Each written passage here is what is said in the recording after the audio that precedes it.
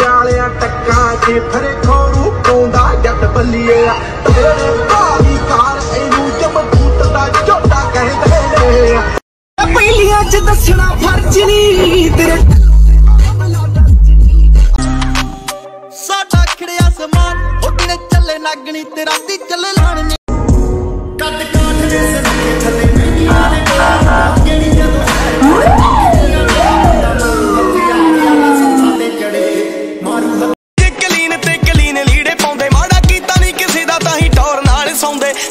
ਨਹੀਂ ਕਿਸੇ ਦਾ ਕਾਲ ਪੁਰਖ ਦੀ ਰਹਿੰਦੀ, ਸਦਾ ਛਤਰ ਤੇ ਛਾਇਆ, ਜਿਹੜਾ ਡੋਬਦਾ ਜਵਾਨੀ ਨਸ਼ਾ, ਜੀਵ ਤੇ ਨਹੀਂ ਲਾਇਆ ਕਹਿੰਦੇ ਕਰ ਲਾ